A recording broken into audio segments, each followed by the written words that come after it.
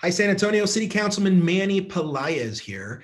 I want to spend some time with you to talk about the rollout of the vaccinations here in San Antonio.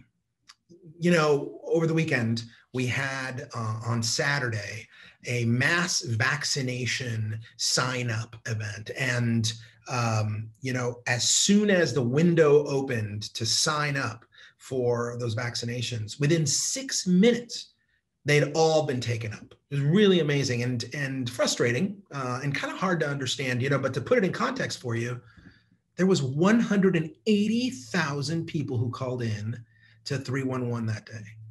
And when that window opened online, um, on the website, there were 11,000 people already signed in to the website, ready to hit that, um, you know, appointment button.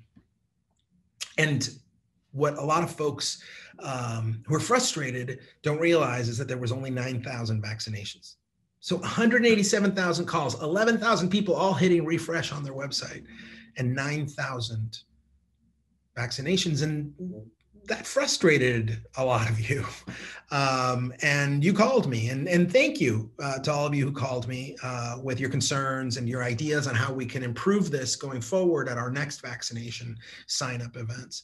Um, and I wanted to assure you that we are working with Metro Health and the City Managers Department to make sure that future events uh, go more and more smoothly as more and more supplies of the vaccine are made available to us. Now, I, I do think it's really important um, for me to explain that uh, manufacturers of the vaccine cannot keep up with demand right now. There's so much demand. And, you know, there's 1.5 million people in San Antonio alone. Almost every single one of them qualifies uh, for uh, the vaccine at some point, right? And manufacturers just can't keep up.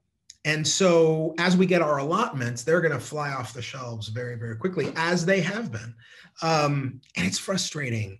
And, and I've heard you loud and clear. Um, you're frustrated. Many of you are angry, uh, anxious, fearful. And I understand that because those are my concerns and fears and anxieties and, and anger too, because, you know, my family, well, we haven't gotten the vaccine either. We're also waiting. Um, and so I do want to reassure everybody that we're going to get through this and we're going to get through this together. Um, and that future events are entirely dependent upon you know the manufacturers sending these vaccines to Texas and uh, the city of San Antonio's Metro Health Department being able to get their hands on uh, you know enough. But I do think it's important that you remember that the city of San Antonio isn't the only entity out there uh, administering vaccines you know, uh, a lot of hospital systems here in town. Uh, the university health system, uh, Christus Santa Rosa, WellMed, I know, uh, individual doctors, maybe your own uh, healthcare provider. They've been receiving allotments and they've been making sure to pump those out uh, very, very quickly. And, uh, you know, I've got a link right here for you where you can see the map of providers. Uh, and if you take a close look, you're going to realize that a lot of them are north side providers. And um, that's because the medical center is right up here in District 8. We're very, very fortunate to have the medical center here. But as we progress, more and more vaccine is going to be made available. And you're going to start seeing not just doctors and hospitals and you know the city and the county uh, administering these things, but you're going to start seeing CVS Pharmacy, Walgreens, even HEB, um, you know, administer them as well. We just got to be patient. Okay.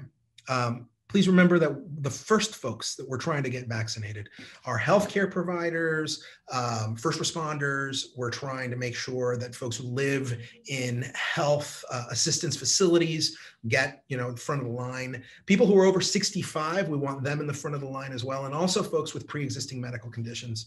Um, and we are going to have to be patient.